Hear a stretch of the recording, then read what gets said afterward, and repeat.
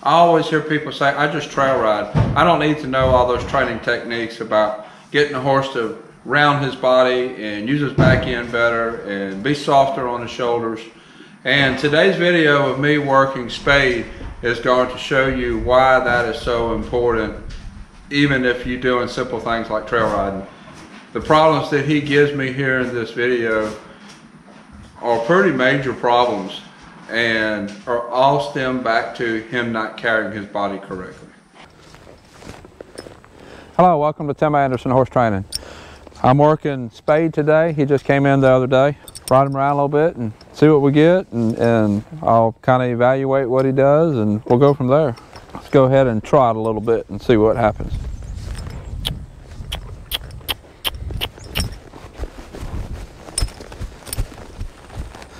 All right, so Ah, that's a pretty good indication there. Ask him to work a little harder and he wants to throw a little temper tantrum about it.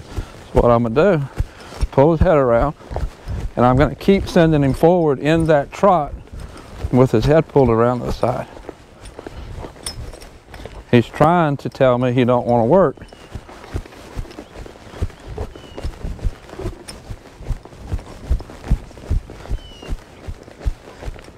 Left leg, left leg, left leg. It's kind of falling in. He's wanting to fuss about my legs.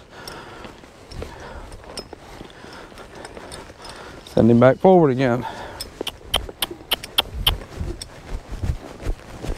I had a question come up on another one of my videos that uh, I, I answered in the comments, but I think this would be a good time to mention it.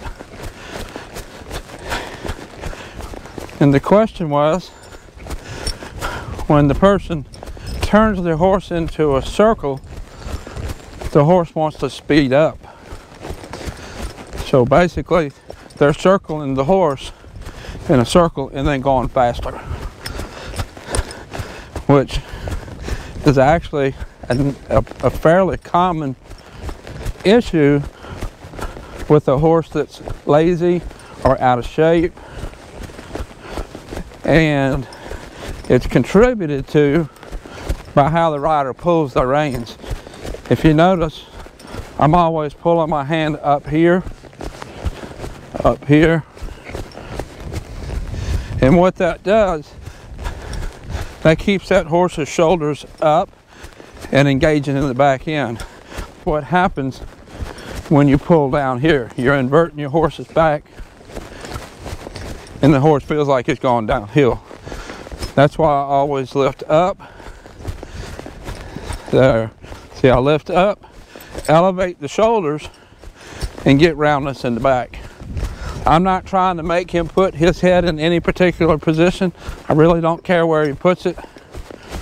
He's going to put it where it's comfortable for him when he elevates his back. Good boy. We'll stand here just a minute, let him chill out. Don't mind him looking around too much. He hasn't been out here very much.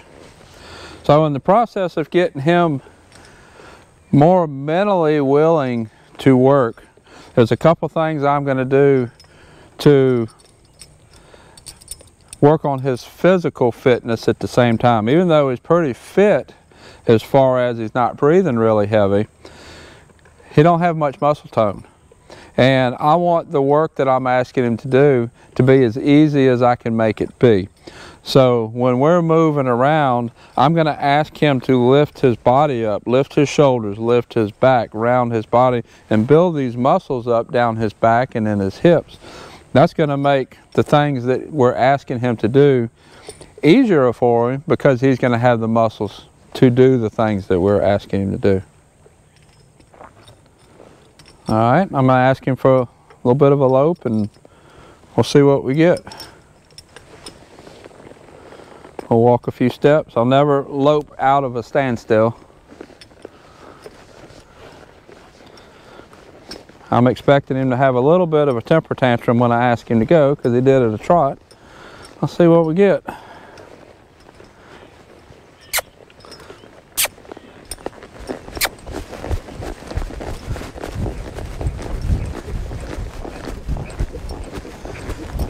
One thing I'm seeing right off the bat, very front end heavy.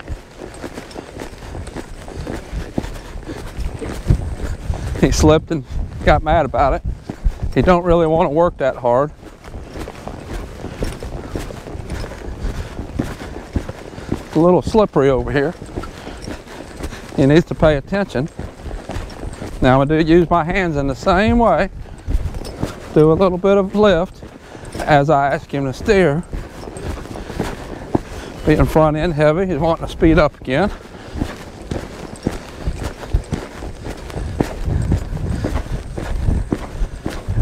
Lift, lift, and get soft. We'll lift, steer, and get soft.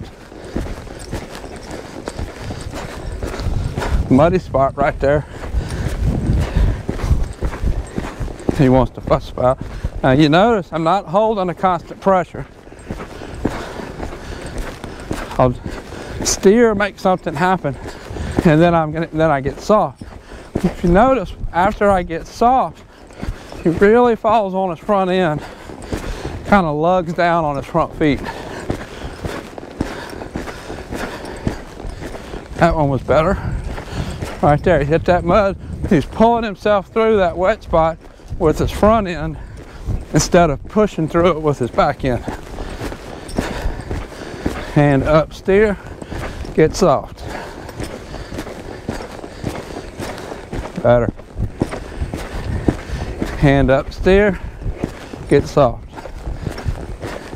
Hand up, steer, get soft. Up, steer. There we go.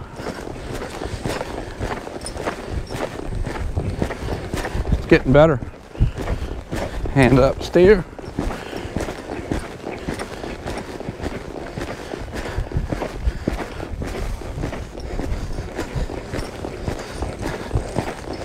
Didn't lug through the mud as bad. He's using his back end a little better.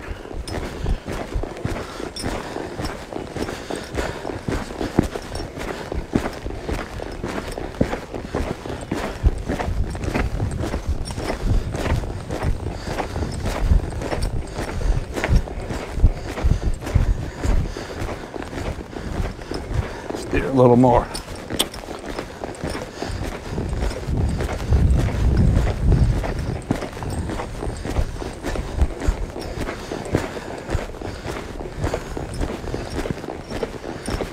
This is going to be a nice horse. He needs a little muscle tone in the right places. Needs to learn how to use his body correctly. Needs a little better work ethic.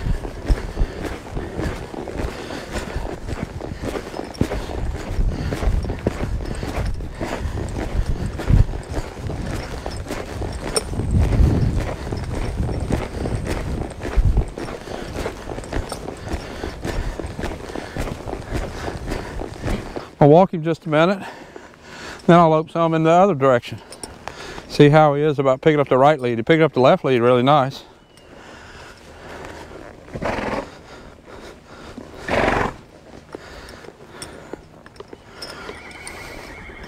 The biggest thing that I'm seeing with this horse is he just needs to learn how to use his body more correctly.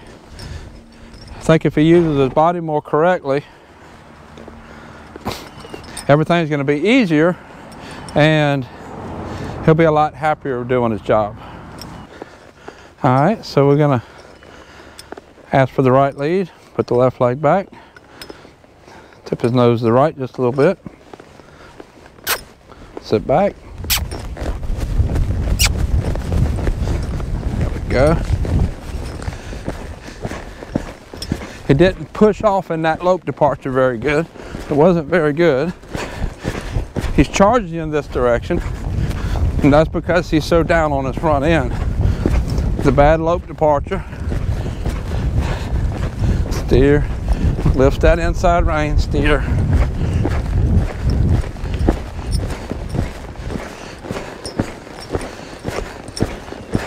Lift, steer. Lift, steer. There we go. See how much you slow down with that one lift and steer? Do it again. Left steer. Get soft. Left steer. left steer. go. Fell on his front end. Felt that right shoulder go down. I felt him speed up. Left steer again. Left steer. And you notice I'm making contact with both reins. I'm not just pulling the inside rein when I'm steering. Tilting his nose with the inside rein. Steering with the outside rein to get some shoulder control. And I'm using a little bit of outside leg. All that slipping he's doing because he's heavy on his front end. He's worse heavy on his front end in this right lead than he is the left lead. Left steer. We go. Let's go straight a little bit. Left steer. Come on. See, I got the left shoulder poked out. Got to bring that shoulder in. There we go. I get that right shoulder up, left shoulder in. Right shoulder up, left shoulder in. There we go. I got it to slow down.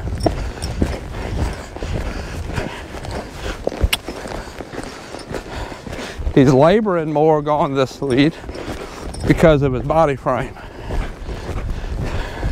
Not sure how much of that you're to be able to see in the video. I'll try to point it out when I edit the video.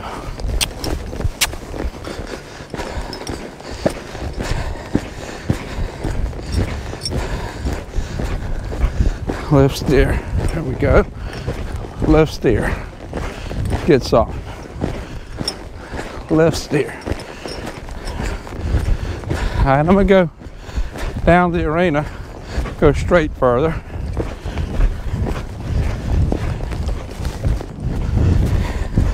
His head go up, shoulders went down, sped up, inverted his body.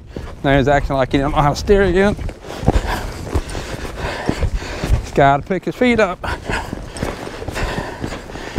Uses his back end better. He uses his back end better picks his feet up, he'll quit stumbling.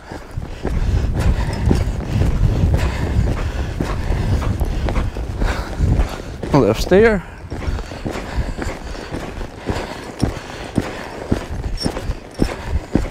There we go. I'll get down here where you can see me again. I'll let him take a break. Now, what I'm not going to do this time is ask him to slow down by that fence. It's where he wants to slow down. Where I would rather slow down, training wise. But I think as soon as I quit telling him go, he's to slow down. He, there we go. You notice I didn't pull him all the way to a stop. I just pulled him into a slow down. Look how lathered up he is. How sweaty he is. And that is all caused from him not using his body, that is all caused from him using his body so poorly in the right lead. I got my long underwear on. It's probably in the, temperature's probably in the 50s. He didn't work that hard to be that sweaty. That's all that he made the work hard on himself because of how he used his body. So we'll walk him just a little bit. I don't want to just stand after that loping, even though that wasn't that much loping. I don't want to just stand. The thing that we've learned about him is he is a little on the lazy side, but he's mostly lazy because he's carrying his body in a way that makes what we're asking him to do hard. So the work is hard so he really doesn't want to do the work. Well, the work really isn't that hard. He's making it harder because he has his body so inverted.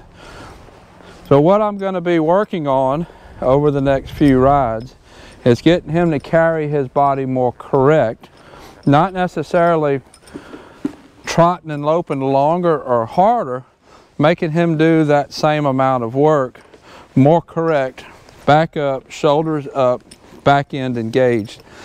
And that work is going to become easier for him. We need to work the right lead more than we work the left lead because the right lead is where he's most inverted. This right side is really weak. We need to get that up. And we'll go from there. That'll be what my next few rides are, and I will keep you informed of how Ace is doing. Until next time, thank you for watching.